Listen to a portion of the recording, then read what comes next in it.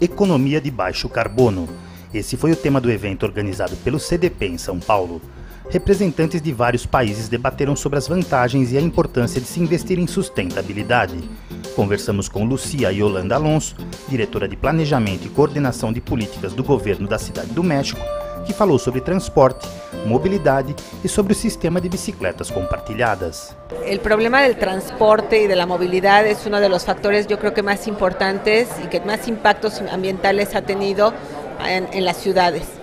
Eh, promover políticas públicas de transporte eficiente, bajos en carbono y que den además un servicio eh, confortable y bueno para la ciudadanía es muy importante. Entonces, invertir en este tipo de, de, de política pública es fundamental, no solamente para el bienestar económico y el bienestar ambiental de la ciudad, sino también para el bienestar social y la calidad de vida de los habitantes.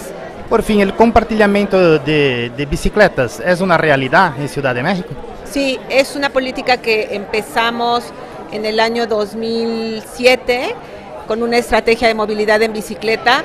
Ahora es una política consolidada, es una realidad que la Ciudad de México tiene ya la opción de la bicicleta como forma de transporte. Tenemos 40 mil viajes diarios en bicicleta en la Ciudad de México.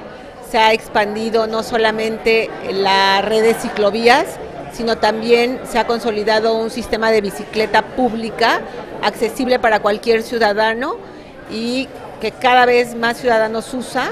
Tenemos un padrón de, de usuarios muy amplio y que sigue en expansión. Entonces es un, es, un, es un proyecto que se ha consolidado muy bien en una ciudad, en una mega ciudad, en donde se pensaba que no se podía hacer, ahora ya es una realidad.